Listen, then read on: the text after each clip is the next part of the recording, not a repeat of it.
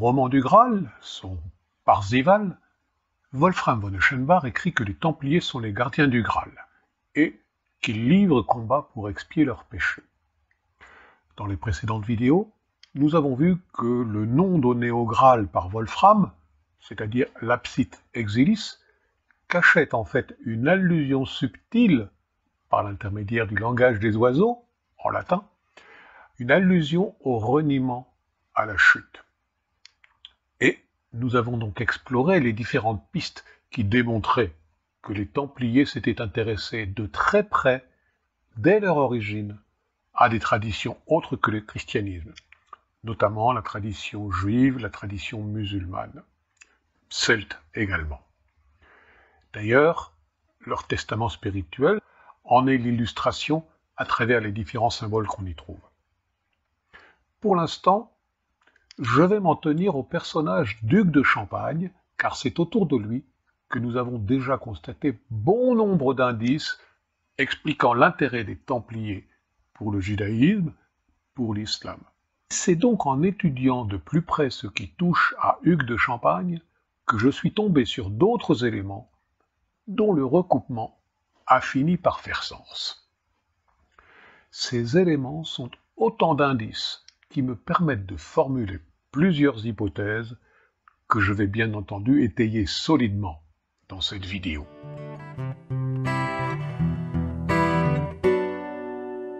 La première hypothèse, c'est qu'Hugues de Champagne était homosexuel. La seconde hypothèse, c'est qu'il a été nommé Hugues des Païens par les chroniqueurs de l'époque. Ce nom, Hugues des Païens, est ensuite devenu Hugues de Païen ou de Pain, parce qu'il eût été franchement de mauvais goût d'admettre que le Templier aurait été fondé par un païen, homosexuel de surcroît, et qui plus est, connu pour avoir été proche des ésotérismes juifs, musulmans et celtes, voire même peut-être de la gnose et des cathares. Toutes ces doctrines-là étaient jugées comme hérétiques à l'époque, bien entendu. La troisième hypothèse, c'est que le sceau des Templiers est en fait un hommage rendu à la mémoire du duo au minimum fraternel et probablement plus que ça qu'il formait avec le co-créateur de l'ordre du Temple, Geoffroy de Saint-Omer. Et donc, dernière hypothèse, c'est que, au-delà d'un duo fraternel, sans doute formait-il un couple. Comme quoi les Templiers ont été précurseurs en beaucoup plus de domaines qu'on ne l'imagine.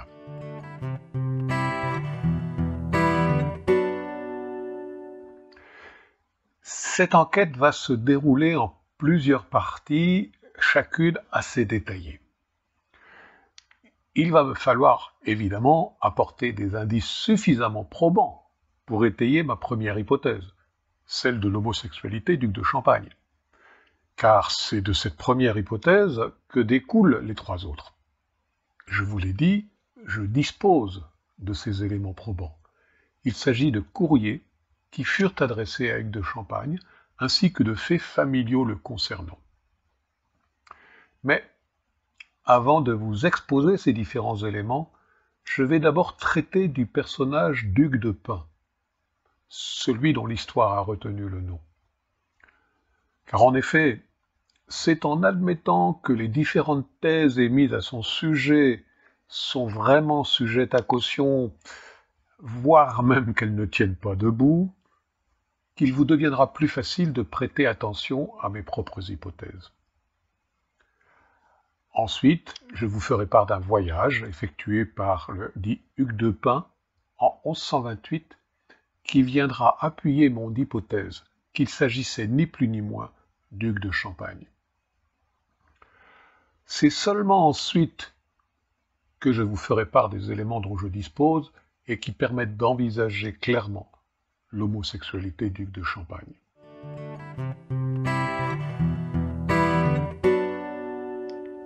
L'appellation donnée par les chroniqueurs de l'époque de l'histoire des croisades, je pense notamment à Fouché de Chartres, est Hugo de Paganis, qui est traduit par Hugues des païens.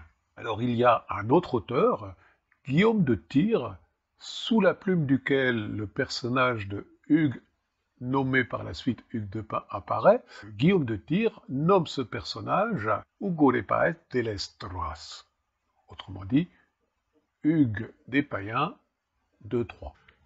Alors aujourd'hui, Hugo des Paganis est devenu Hugues de Pin.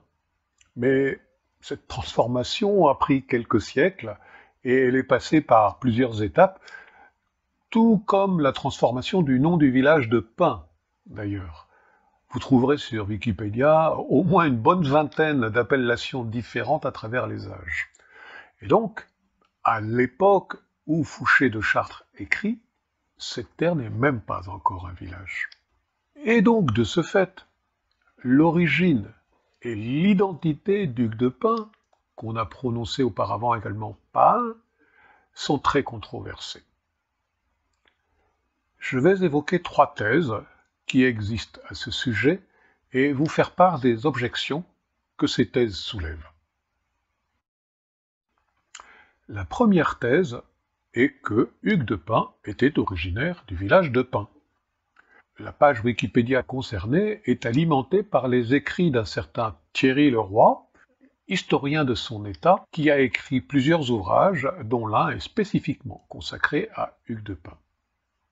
Il évoque notamment la présence de la signature euh, d'Hugues de Pin, donc non pas sous ce nom-là évidemment, dans des chartes de Duc de Champagne. Il nous précise d'ailleurs que Hugues de Pin était un vassal duc de Champagne. Selon lui, Hugues de Pin est donc à la cour de son suzerain, Hugues de Champagne, jusqu'en 1106.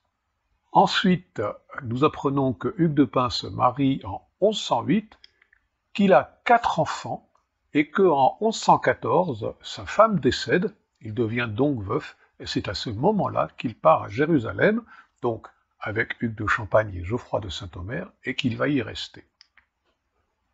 Le problème, c'est que Thierry le roi est jugé parti dans cette affaire. Il est originaire du village de Pin, il y habite, et il y a fondé un musée des Templiers. Donc, pour cette raison et pour d'autres, il rencontre des critiques que je trouve assez pertinentes. Critiques que vous trouverez notamment dans un site web nommé Les Amis de la cathédrale de Saint-Omer. Je vous cite leurs arguments. Tout d'abord, ils évoquent le fait que le toponyme, donc le, mot, le nom de pain, n'existait pas au Moyen Âge. Ils ajoutent que, selon certains historiens, les chartes que Thierry Leroy évoque n'auraient pas d'existence. Troisième argument des amis de la cathédrale de Saint-Omer, c'est que l'on trouve le plus souvent l'appellation de Hugo de Paganis donc là, il cite Fouché de Chartres et Guillaume de Tyr, notamment. Hein. et donc, des paganistes, selon eux, doit se traduire par des païens. Ce en quoi je leur donne raison, d'ailleurs. Autre argument évoqué par eux, c'est que si l'on observe bien les dates de mariage, les quatre enfants et le départ, cela signifie qu'il a quatre enfants en bas âge, puisque quatre enfants nés après 1108 et avant 1114, donc l'aîné peut avoir donc 6 ans et le cadet 2-3 ans peut-être. Et donc il aurait abandonné quatre enfants en bas âge pour se joindre à des compagnons de voyage dans le but de créer une milice du Christ. Il choisirait alors de se faire pauvre, de se faire combattant. Pourquoi pas mais ça me paraît une attitude assez irresponsable pour un père de famille sans épouse et responsable de la survie de quatre enfants. Personnellement, j'ajouterais un autre élément à ces critiques. C'est qu'en fait, si l'on regarde le pédigré de Hugues de Pin, son rang dans la noblesse, son histoire, ne le prédispose en aucun cas à devenir le chef d'un quelconque ordre religieux ou d'une quelconque milice armée.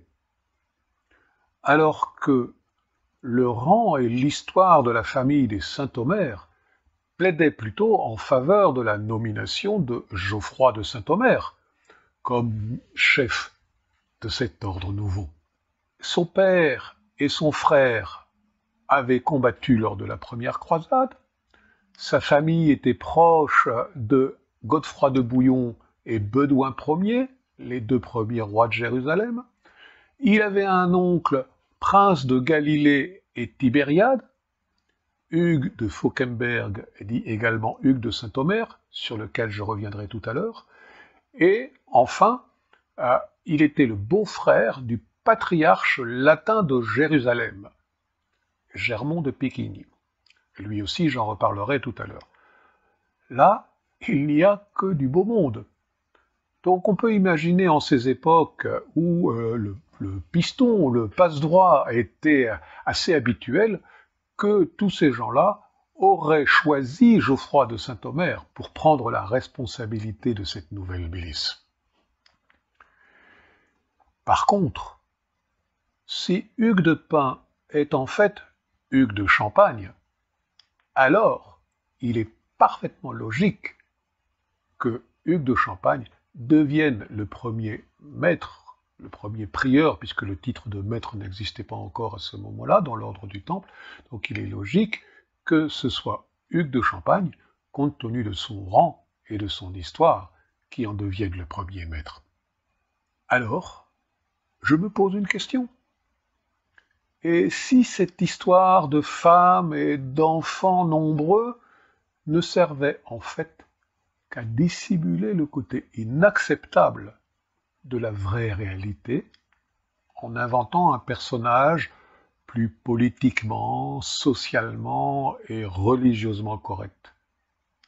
En effet, Hugues de Champagne ne correspondait pas tout à fait au gabarit du personnage le plus correct à l'époque.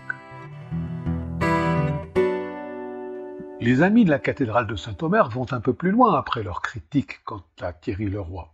Ils vont jusqu'à évoquer le fait que les co-créateurs de l'ordre du Temple seraient en fait deux frères de la famille Saint-Omer, c'est-à-dire Geoffroy de Saint-Omer, Geoffroy ou Godefroy, hein, c'est le même, et Hugues de Saint-Omer, qui serait son frère. Leur hypothèse, c'est que ce Hugues aurait été affublé du surnom le païen suite à la perte de leur mère qu'il aurait laissé éplorée et il en aurait perdu la foi. Bien là, il n'y a strictement aucune preuve de ce qu'ils avancent. En plus, le Hugues de Saint-Omer qu'ils évoquent est probablement Hugues de Fauquemberg, qui a été prince de Galilée et de Tibériade suite à ses bons états de service lors de la fameuse bataille de Ramla, mais sauf que ce Hugues de Fauquemberg est décédé en 1106 dans une autre bataille. Il ne peut donc pas avoir été le co-créateur de l'ordre du Temple, et il ne peut pas avoir été celui qui a accompagné en 1114 les deux autres créateurs. Il y a également une hypothèse catalane.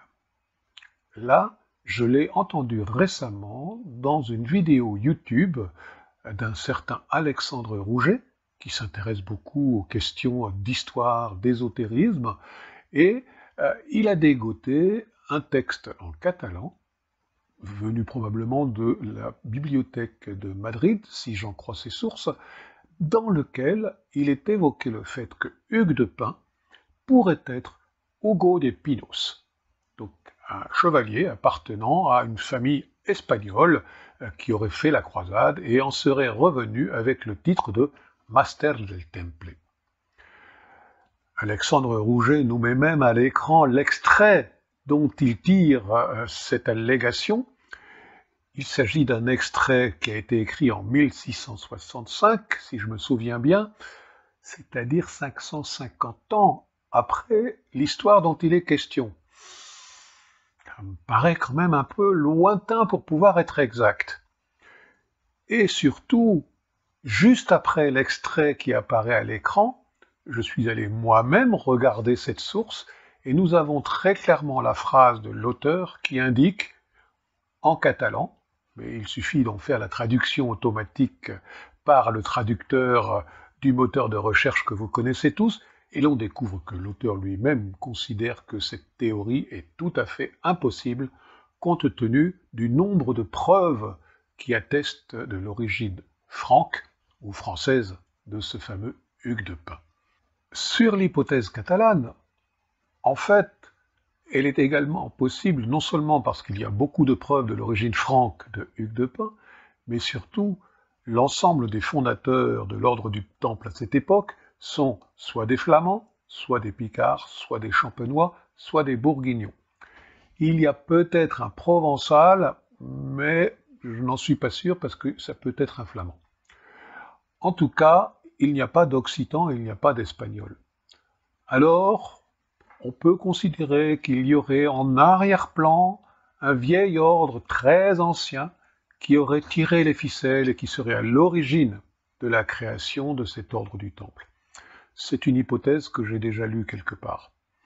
C'est peut-être le cas, mais il se trouve que la totalité des indices autour des personnages qui font le début de l'ordre du Temple nous amène dans la partie nord de ce qui est aujourd'hui la France. Il y a également une hypothèse ardéchoise qui date du XVIIe siècle, ce qui la rend quand même pour le moins anecdotique. Donc, avec l'ensemble des différentes critiques sur ces hypothèses quant à l'identité de ce Hugues de Pin, j'ai ma propre hypothèse sur ce De Paganis. Pour moi, si Fouché de Chartres utilise cette appellation, c'est bien pour faire référence à des païens. D'autant plus qu'il connaissait très bien Hugues de Champagne, qu'il connaissait son orientation sexuelle et qu'il connaissait son intérêt pour des ésotérismes un peu distants du christianisme.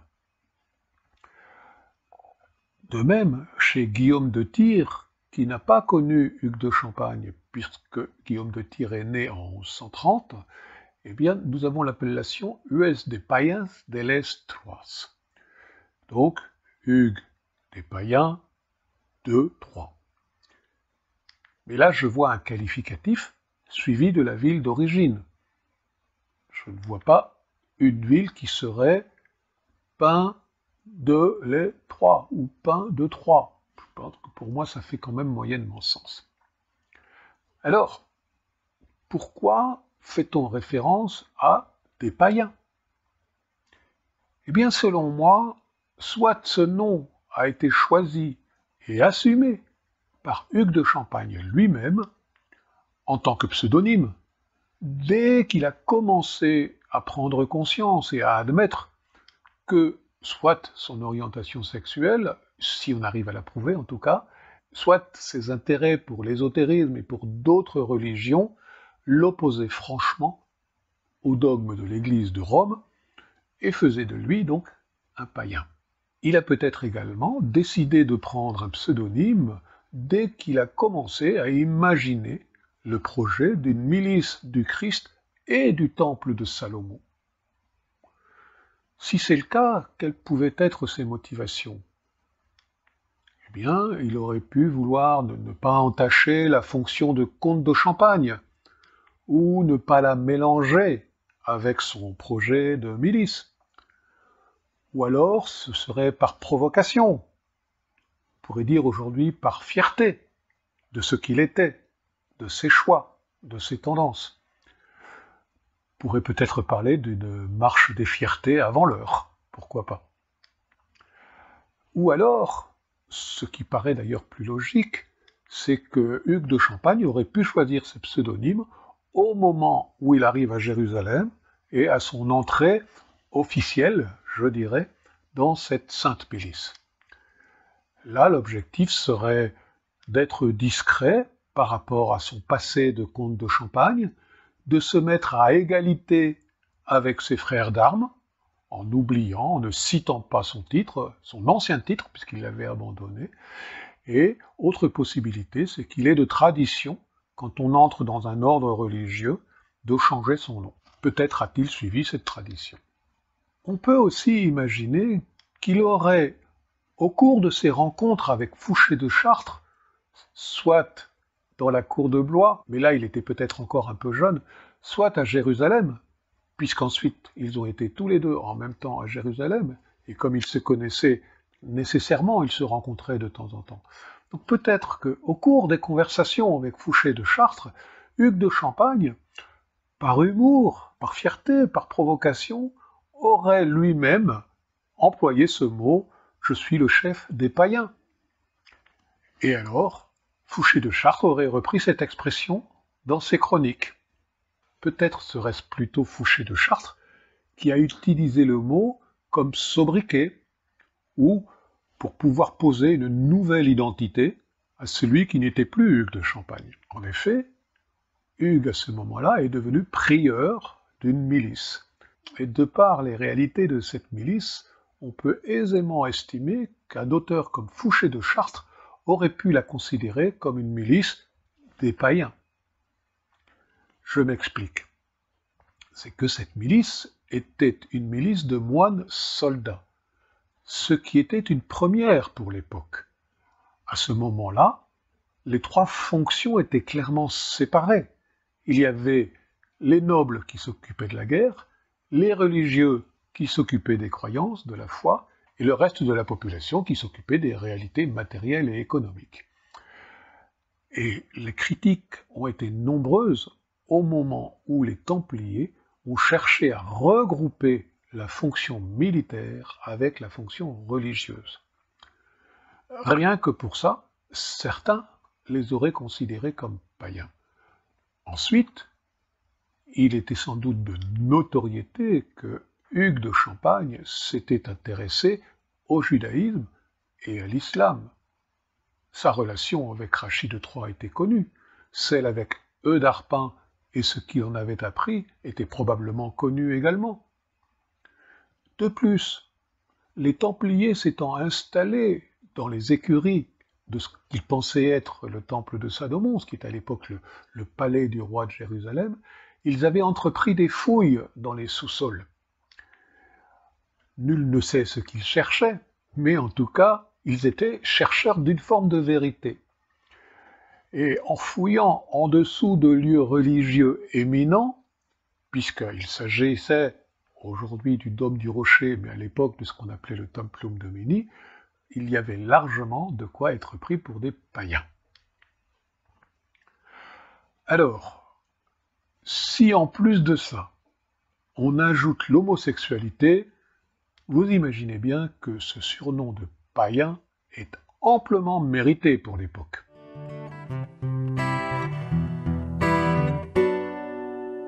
Mais au-delà de l'identité et de ce possible surnom, de ce possible sobriquet, Hugues de Champagne présente bien d'autres éléments qui peuvent faire de lui Hugues de Pin, créateur de l'ordre du Temple. Tout d'abord, et je vous l'ai déjà dit, il est admis qu'il participe au voyage en Terre Sainte avec Geoffroy de Saint-Omer et Hugues de Pin en 1104 à 1114. Et puis, il est également su qu'il les rejoint en 1125. Donc, là, peut-être qu'il s'agit de trois personnages, mais rien n'empêche non plus qu'on ait divisé a posteriori en deux personnes celui qui n'en était en fait qu'une seule, ce pour les besoins de la cause, qui était de dissimuler ses tendances et ses intérêts hérétiques. Ensuite, deuxième élément, c'est que Hugues de Champagne a manifestement des motivations très fortement ancrées pour suivre la voie qu'il a suivie. En effet, comment expliquer que l'un des personnages les plus puissants de l'époque répudie sa femme, abandonne son comté, son titre, ses richesses, pour faire vœu de pauvreté et pour se rapprocher de quelques chevaliers en quête d'une spiritualité engagée quelque part dans une terre chaude et encore parfois très peu accueillante? Eh bien, pour pouvoir aller jusqu'au bout d'une telle démarche, soit il est porteur d'un projet en arrière-plan beaucoup plus important que ce que l'on voit en surface. Soit il est très désireux de s'installer à Jérusalem, sur les pas du Christ et sur ceux de Salomon, Et alors là, ce serait pour des raisons religieuses ou pour des raisons plus occultes. On voit notamment dans les écrits de Fouché de Chartres des références à ce qu'on appelle le millénium, donc les mille ans de paix. Et donc là, au moment de la prise de Jérusalem, les Francs ont pu croire que ces mille ans de paix annoncés par la Bible étaient arrivés. Et donc on était dans une période évidente de messianisme, qui était peut-être une des raisons pour laquelle un comte éminent de France choisit de tout abandonner pour aller s'installer à Jérusalem. Autre possibilité, c'est qu'il a atteint un stade de développement intérieur qui lui permet d'être au clair sur ce qu'on peut nommer sa mission d'âme, sa mission de vie, et que, l'ayant plus clairement touché du doigt et du cœur, eh bien, il place cette mission au-dessus de toute autre préoccupation. Là, je serais moyennement étonné parce que, pour ne rien vous cacher, j'ai fait ce genre de choix-là pour mon existence depuis quelques années. Enfin, autre motivation possible, il rejoint quelqu'un par amour. Et nous verrons que cet amour pouvait être très probablement envers Geoffroy de Saint-Omer.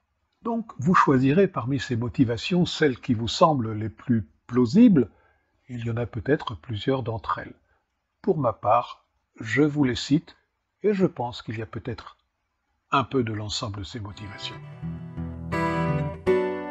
Ensuite, je voudrais évoquer le fait qu'il s'agit d'un homme de pouvoir.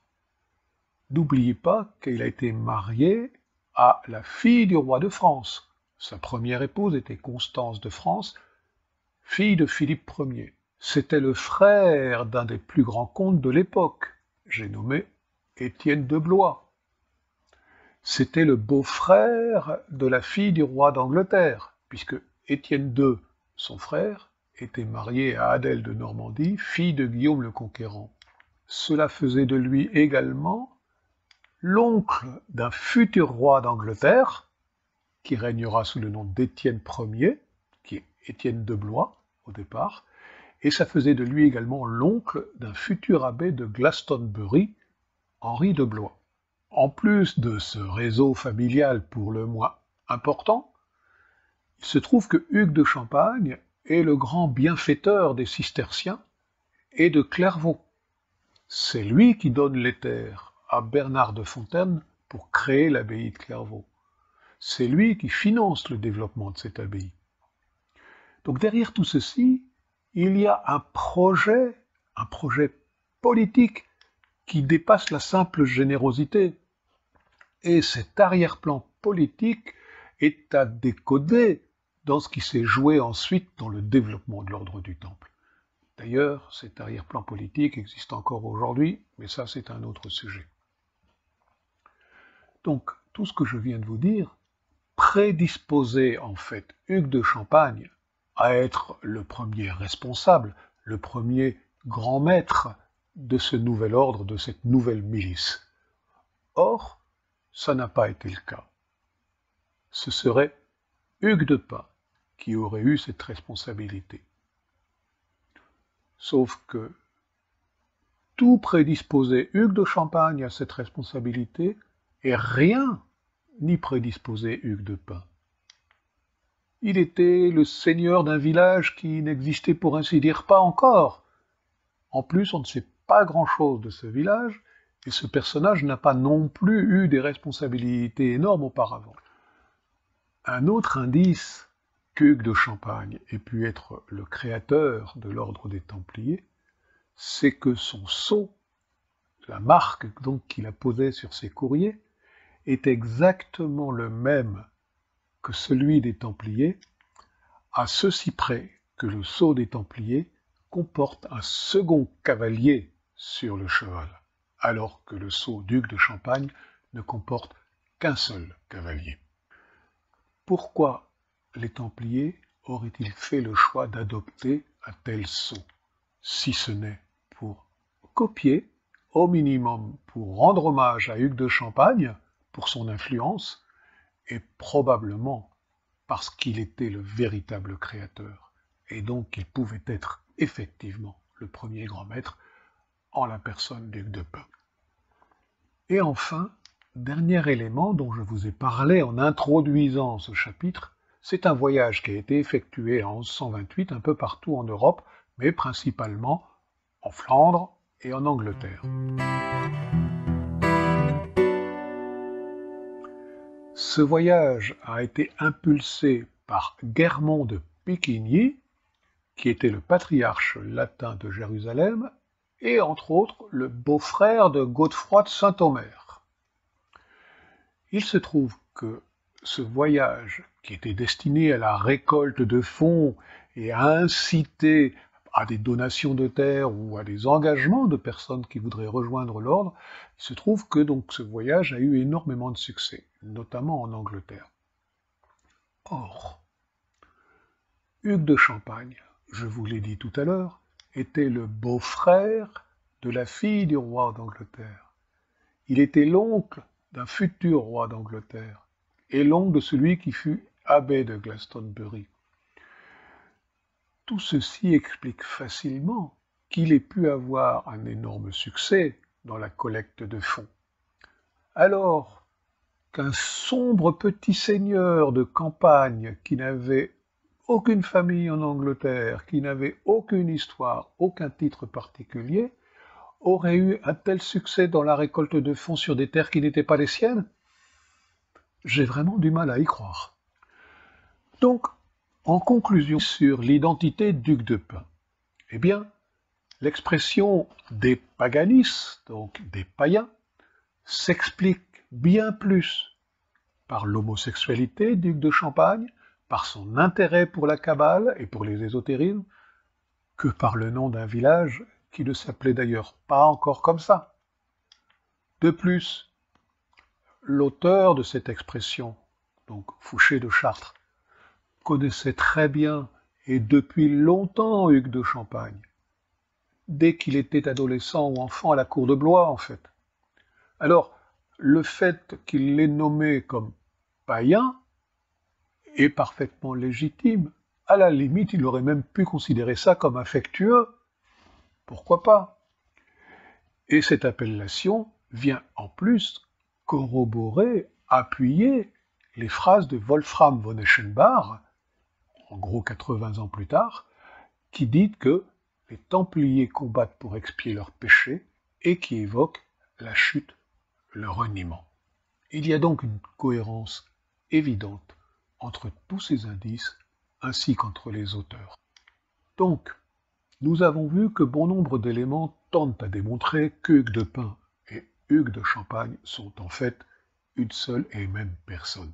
Mais au vu de ces orientations, intellectuel, spirituel, ésotérique et sexuel, l'histoire a préféré oublier que c'était lui le véritable co-créateur de l'ordre du Temple avec Geoffroy de Saint-Omer.